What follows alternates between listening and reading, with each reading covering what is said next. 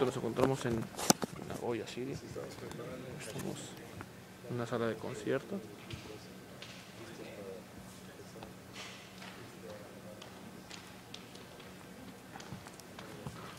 Tenemos el escenario.